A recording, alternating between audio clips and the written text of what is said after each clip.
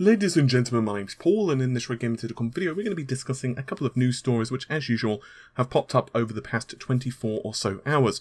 The first of which is an Intel 7960X Geekbench free result, and then we're going to finish the video with perhaps the more interesting for many of you, and that is RX Vega 56 64, because some game benchmarks have actually leaked onto the internet. Well, more specifically, one benchmark, but it apparently is for a whole slew, a whole suite of games, and it's an accumulated result. And it's quite nice because we actually have this against the 1070, the 1080, and so on and so on. So we'll go into that in a moment. But first things first, the 7960X. For those who don't know, I'm pretty sure most of you do, it is of course a 16-core 32-thread processor and is almost the pinnacle of the Skylake X lineup. Now this processor was overclocked to 58 uh, sorry, to 5450 megahertz, and we have two distinct entries on the Geekbench uh, free um, database. The first is providing a single core score of 5804. The second is a multi-core score of 7800 and sorry 78,323. And we also have a second entry which popped up just a single day later. Now these results are a little higher. The single core score is 5882, but the multi-core score is insane. It's 81,005. Obviously, these results are going to be very skewed in the favour of the 7960X because, well, it's overclocked to well over 5 gigahertz, so that's obviously something to take into consideration. But even so, we can at least have an idea of what the scaling is going to be, and we can also take a look at the at the 1950X, excuse me, which there are multiple entries once again for Geekbench 3 with this particular processor. It looks like, uh, and this is obviously a very casual glance because we don't have enough results yet, but it does look like this processor scales very well, perhaps slightly better, especially in single core, but given that you're going to be looking at ooh, around 700 US dollars as a premium for the 7960X, one can make a very compelling argument that it's probably not for everyone this small bit of performance um, jump. And don't forget that just a while ago there were leaked results of Ryzen 1950X actually running at 4. Uh, 0.1 gigahertz with the single core score of around 5450. Multi core score was 58,400 essentially. So it does provide a very good indicator that, at least in terms of processor value, AMD are certainly on top.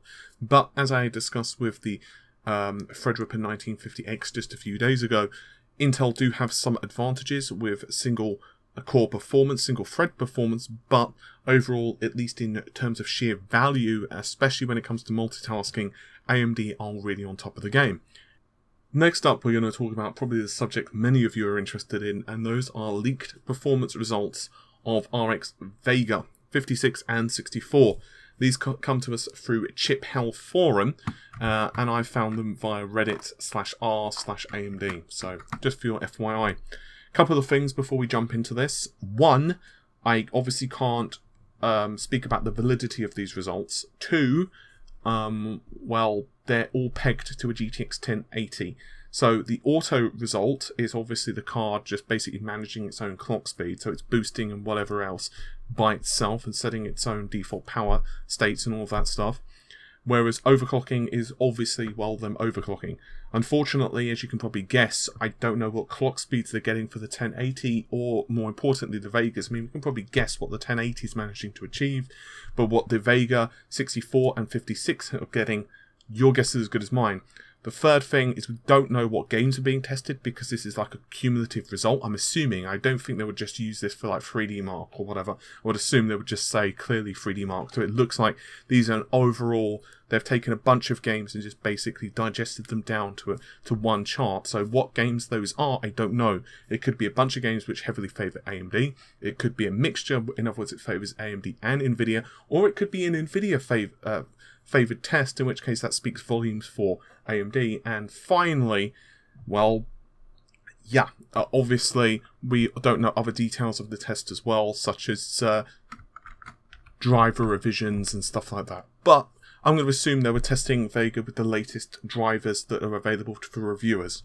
Anywho, uh, let's talk about this. I'm going to focus first of all on auto, in other words, the default clock speeds and all that. Um, once again, the 1080 is 100%, so it's the reference. RX Vega 56 is 90%. That's pretty impressive. The problem is the Vega 64s are about 3% faster than the 1080. And considering the price difference, it's not awful because obviously when you start getting into like higher end priced GPUs, the value versus performance thing does kind of start dropping. But here's the big issue I've got with that, and that's overclocking. So if you overclock the 56, it basically jumps about 17% in performance.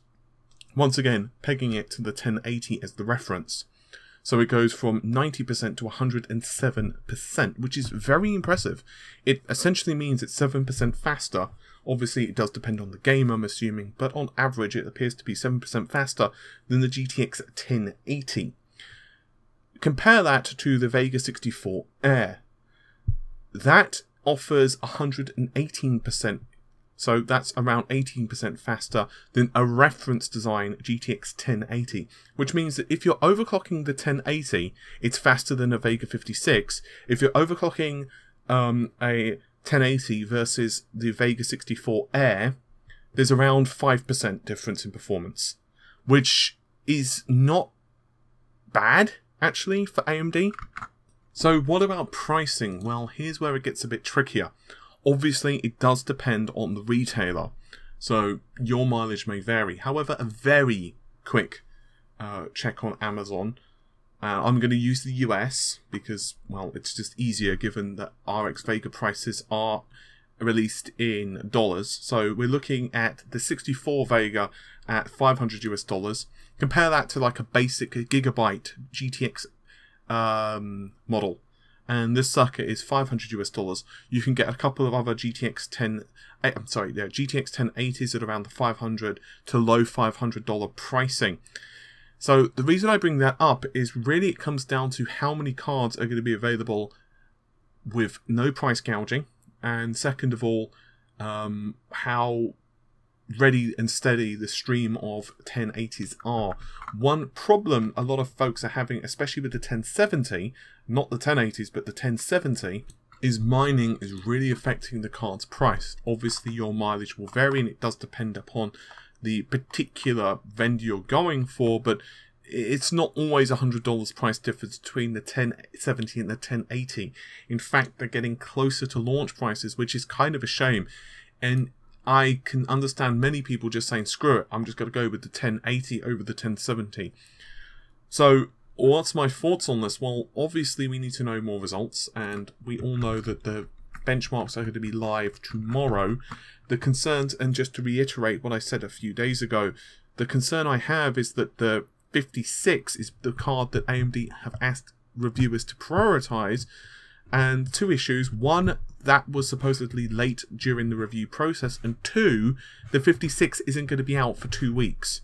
So it sounds to me like they've got more confidence in the performance and value of the 56 over the 64. Therefore, for people who want to buy the 64, which basically goes on sale at the same time as reviews are available, I would I wouldn't say caution you, but I would consider anyway waiting just just a few days for more benchmarks to go online or perhaps for more um, for a greater suite of games to be tested. But obviously that is down to you. With all of that said, hopefully you have enjoyed the video. I'll see you soon. Take care. Bye for now.